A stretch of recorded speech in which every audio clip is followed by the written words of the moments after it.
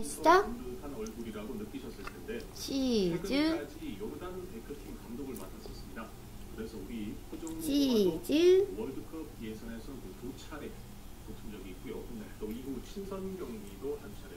그래서 최근에 세 차례 정도 경기를 했기 때문에 얼굴이 좀 익숙한 그런 기억이 날 겁니다. 네, 포르투갈 출신의 감독으로서 특히 아시아권에서 이 감독 생활을 지도자 생활을 했었던 경험이 장점으로 꼽힌다고요?